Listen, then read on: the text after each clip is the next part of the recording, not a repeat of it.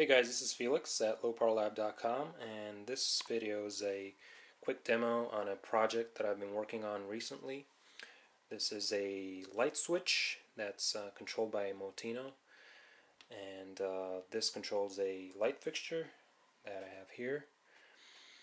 Um, so what this is is a box, a blue box that contains uh, the Moteino, a relay, and some other circuitry that provides power and I have this uh, momentary push button uh, that will uh, trigger a light on or off action and a status LED and then I have a uh, just a power cord that provides power to the blue box. And then over here I have the power cord from the light fixture. And uh, this is the hot that goes to that. And then this is the neutral that goes back to the uh, mains neutral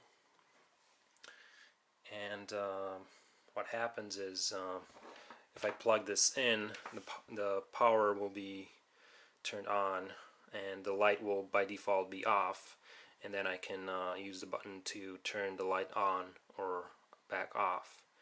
Uh, the status LED will be on only when the light is off so that uh, you know you could see it in the dark and uh, because there's a Moteino in there obviously I can also remotely trigger uh, light on or off action. So for that purpose I have another Moteino here which is connected to my computer and it's running a sketch that I can use to um, remotely trigger the light uh, action. So uh, let's plug it in and see how this works. This power cord is polarized so I can only uh, plug it in one in one direction and uh, there's now power in the box but the light is off. So uh, I can now push the button and the light will turn on. I can now push the button again and the light will turn off. And um, as long as I have this open here in the terminal I can see that the light is um, turning on or off. So this information is coming uh, over wirelessly through uh, the receiver Moteino. So uh, I can also trigger the action from here like I was saying I can use uh, the sketches program so that I can uh, turn the light on or off just by pushing 1 or 0. So 1 would be a turn light on then 0 is turn the light off. What I'll do now is I'll tear this apart and uh, show you what's inside. Alright, so I took this out of the box and what it is, it's there's this top plate, it's a perf board and it just provides a means to connect the rest of the circuitry to the top of the box. And it has this push button and then the status LED and not much else. If we turn it over, uh, what we see is this uh, SwitchMote uh, shield for Moteino and it basically is just a switch mode power supply that's very compact.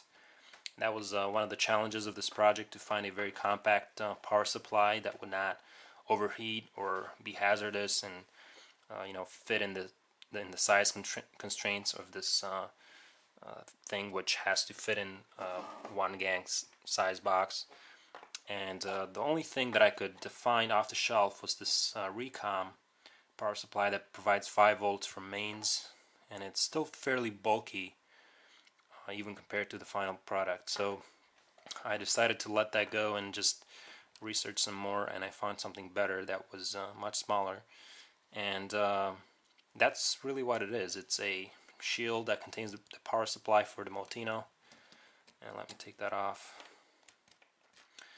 And and then we have these four terminals which are um, actually only three of them are being used. The first one's not connected to anything, and then uh, the the other one is neutral for mains, and then hot for mains. This provides the power to the supply, and then uh, this is also connected to the onboard solid state relay, which sits underneath the board over there.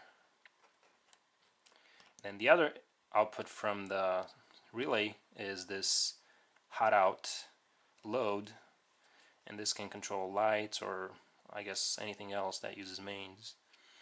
Another feature of this project is the ability to um, switch the input load with the output load such that if you install this uh, for a just a light that has just the uh, input and output loads uh, they can go either way in these two terminals and then the other one has to be neutral just because uh, it, it's needed for the supply. But um, you don't have to plug the mains input into a specific terminal between these two. It could be either one because both of these are connected to the uh, SSR solid state relay. So whenever you turn the light on uh, these two terminals right here will be connected.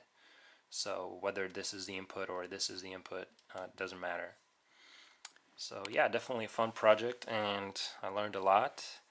And um, I might publish more details later when I come up with uh, another version another revision.